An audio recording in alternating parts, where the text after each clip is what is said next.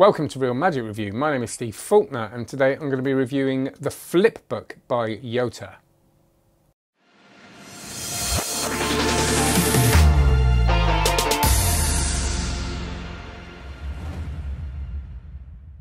Before we do this, I'd like you to like, I'd like you to subscribe, and I'd like you to press the little bell icon so you get all the notifications of when I go live and very importantly, I'd like you to check out cardmagiccourse.com. That's my online card magic course, over 400 videos. You're going to know the spiel if you've watched these reviews before.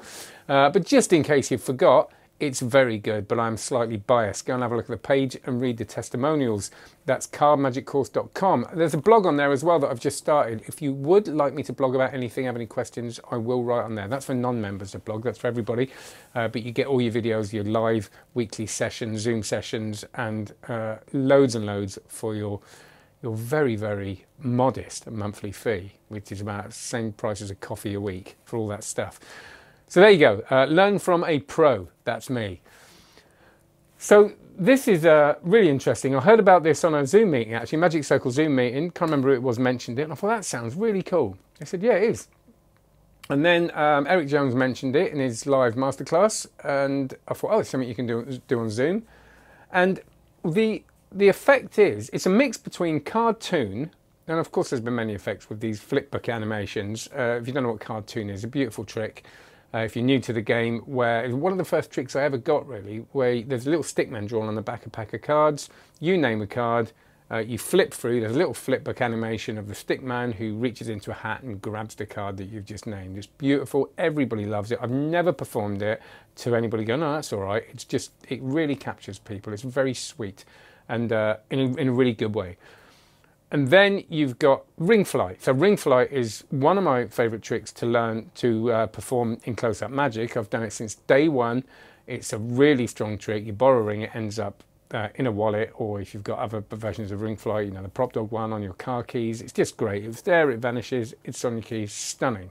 It's a wonderful trick. This brings those two things together in a really lovely way. It is so there's you get the uh, the the it's a really nice little package actually. You get a little slip slip case over it.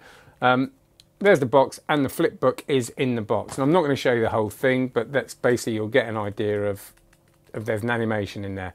Um, and what happens is you borrow a ring, as in ring flight, you put the ring in the box, okay, give it a little shake, the ring's in there, and then the ring vanishes when they click their fingers, the shake goes completely silent, and then you open the book, flip through, and the the ring is in there or whatever you've borrowed. It's lovely, isn't it? That I mean, it's just really lovely. The the it's going to really bring people in the whole story concept. You don't have to tell a story with it. There is a, a, a presentation of uh, about someone who invented a book that he draws pictures and things come to life, which is lovely in itself, isn't it? Kids are going to love it, but adults as well. Um, and I've just written three scripts. I never write scripts for tricks, but I thought I've got to start doing it. I usually just improvise and come up with ideas, and then they stick. But this, I thought this is there's so much to this. So I've written a story script, I've written a quick script, I've written a script about what it's like when you lose things and you get so upset. And if I could change anything in my life, it's be that I don't lose so much stuff. But I got this book online, you know, it's really simple stuff. But it's just it's just built for that kind of presentation. Uh, and it's got that really magical quality to it. And it, it feels like, even though it's bringing, bringing old ideas together, it feels like a really new thing. And Jota, I looked on his website and has some great stuff on there. Uh, incidentally, I'd like to thank um, Vanishing Inc sent me this, and it's not a Van Vanishing Inc product, but I said to him, look, I haven't got one, and um, and I think it, it just seems like such a lovely trick. Why haven't I heard of it more? And they said, well, we'll send you one. So if you do are interested in it, interested in it, please do use the links below, just incidentally, because that's not an affiliate link. I don't get a fee, but it just it just sort of gives something back. I'm, I'm getting sent this stuff. Um, anyway, so the good part of this is it's it's pretty easy. It's it's easy to do. You're not going to need any knuckle busting sleight of hand. You don't even have to vanish the, the ring. It's all built into it for you. So that's all good.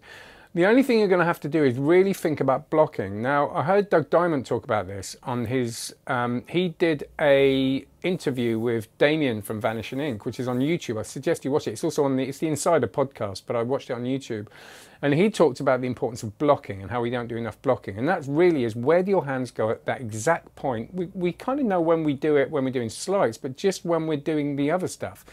And with this, even though there's no slides as such your blocking is really important when you say something where your hand goes at that. And Jota talks you through all of this on the download. It's great. It's got everything you need.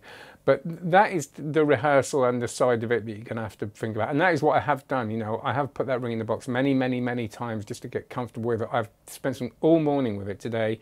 Um, and I have shown it to one other person. Obviously, I got no footage of that and you know, I can't do all that sort of stuff at the moment, but take my word for it. I know what it feels like to perform, and it is easy, but you have got to be mindful. You've got to rehearse this. Okay, that's all I say, but super easy. Um, and it's just very, very magical. I think it's a really, really lovely piece of magic. Have a look at the at the link and watch the watch the video. I looked on uh, Jota's site, and hopefully, I think he might be sending me some stuff at some point. I don't know; that's not an assumption. But he kind of, I kind of said, "Oh, about the thing," and he said, "Have you got any of my other stuff?" So I don't know, but uh, but his stuff looks very imaginative, and it looks it's all very cool. And this is really, um, it feels very, very new and nice. And oh, and the only other thing I, you know, if I'm doing pros and cons, the pros is it's a brilliant trick and everything's good about it.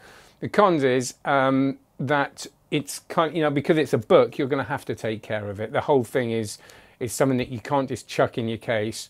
Um, I don't mean I think it's going to last a long time but just be you're going to have to really take care of it. You know it is a book and books are made of paper and card.